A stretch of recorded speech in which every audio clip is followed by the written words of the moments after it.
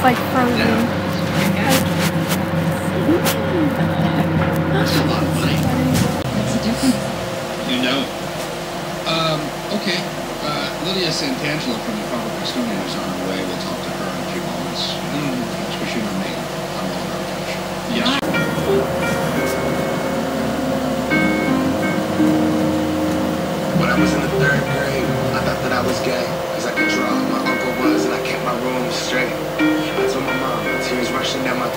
Man, you've loved girls since before pre-K.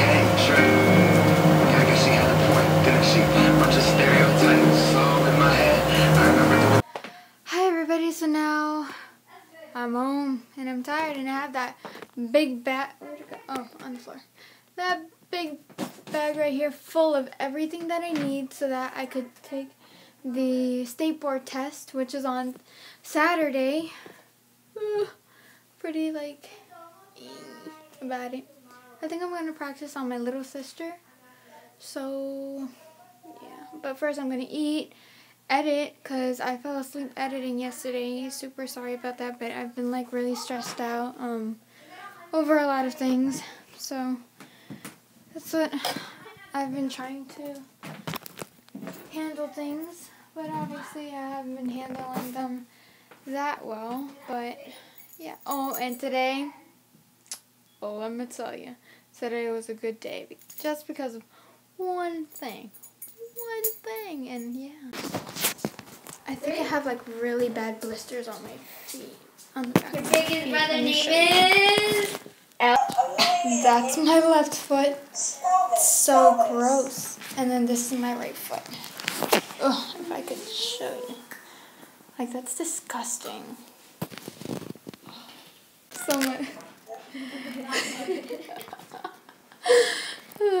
So Valerie is Valerie is FaceTiming with her friend, and oh my goodness, I saw Oreos, I and she got kisses. And, share this with Adam. oh, I love Oreos. Guys. You don't understand, and I love chocolate. So, oh yeah.